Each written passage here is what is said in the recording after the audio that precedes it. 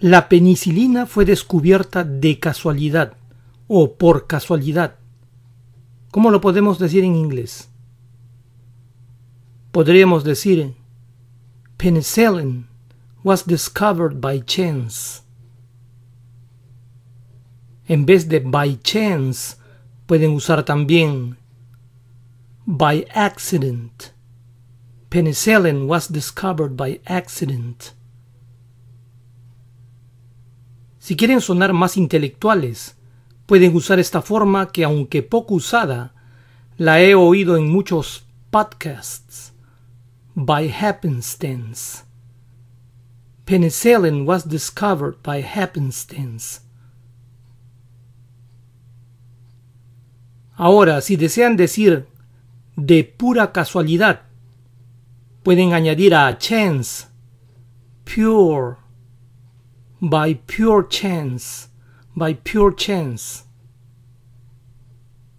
O la palabra mere, mere, que significa mera, es decir, por mera casualidad.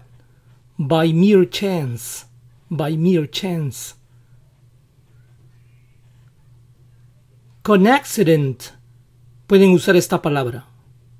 Sheer, sheer, que es otra forma de decir completa. By sheer accident, by sheer accident.